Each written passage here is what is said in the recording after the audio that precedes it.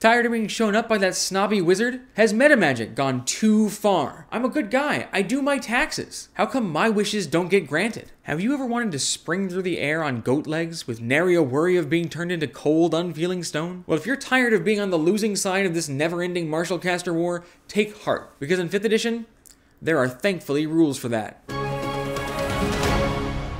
So, what sort of mystical creature could possibly serve as our stalwart against the vile wizarding menace? It's a satyr. You know, like the goat one? Yep, crazy partying goat people from Greece.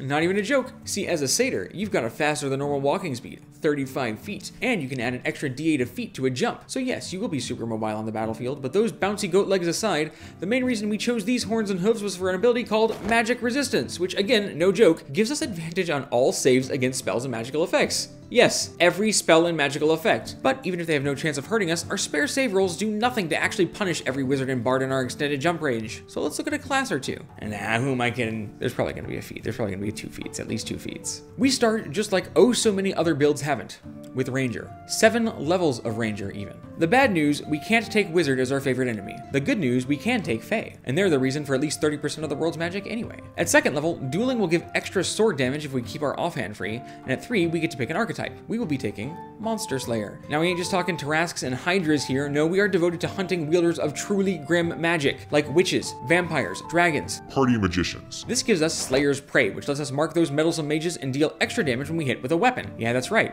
a weapon, which we will get to later. At fourth level, we're going to take a feat that is aptly titled Mage Slayer. We get two effects from this. First, we get to attack anyone casting spells within 5 feet of us, for free! And second, if we hit a concentrating mage with a melee weapon, they get disadvantage on rolling to keep that concentration. Fifth level gives us an extra attack with our sword. Yeah, yeah, a sword. Stop getting so hung up on it. We'll explain later, we want slashing damage. Seventh level gives us a great Slayer feature called Supernatural Defense. This says that whatever dumb nerd we happen to have prey marked will have a harder time hitting us with any spell that requires a save, because not only do we get our magic resistance on saves, we also get to add a d6 to each one.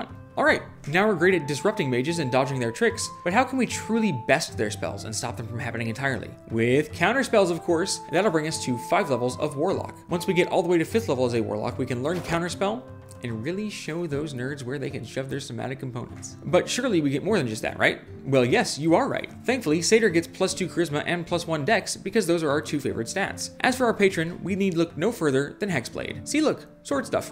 Told you we'd get to it. But anyway, what does Sword Daddy even actually give us at level 1? Actually, quite a lot. Starting with a curse that we can bestow as a bonus action that's similar to the Slayer's Mark but even better. This one gives us increased crit range and regains us health on the death of our target. Plus, we can possess any sword we want and use charisma as both the attack and damage stat for it. We even gain access to Wrathful Smite, which we can cast with an expanded number of spell slots thanks to our Dippin' Ranger. At level 2, we get two invocations. One we'll use to enhance the pact weapon that we will get at level 3, but the other gets us Lance of Lethargy. This will slow anyone hit by our Eldritch Blast by 10 feet on their next turn to ensure that they aren't getting to run back home to their stupid little wizard house. At level 3, we can take Pact to the Blade and get access to Spooky Sword Daddy anytime we want. Plus, thanks to our invocation, this allows us to enhance our Pact Sword to plus 1. Level 4 is another feat, and this one comes from a very spicy, hot off the presses Unearthed Arcana. Slasher. This feat gives us an extra point of dex, always neat, but also it lets us slow anyone we hit with slashing damage by 10 feet. And on a slashing damage crit, we mortally wound the target, giving them disadvantage on all attacks till their next turn. But even crit fishing aside, if we hit with both attacks, our target starts off their turn with only 10 feet of movement, which means he can't escape the Nope Goat! Finally, as a 5th level warlock, you get Counterspell. Oh, and an extra invocation. Naturally, I have thoughts about that. Grasp of Hadar lets us pull enemies 10 feet closer to us when we hit with Eldritch Blast, so give your best get over here and drag your frightened mage enemies back toward the short bleeding doom of the Nope Goat. This build really delves deep into the tools that martial classes get to help stay even with late game casters, although I do have to say most of that is just from this new busted Satyr race. You can start with Warlock first if you want immediate damage output, but the extra bulk and utility powers of Ranger make it easier to level in the early game, and then pick up Warlock a little bit later when you can. This isn't the only anti-magic build in the game, but boy does it play like a dream. You've got so much mobility that you can provide CC even as you hunt down one or two enemies in a fight. So get out there, take the mentor background, name yourself Phil, and live the Danny DeVito experience you deserve.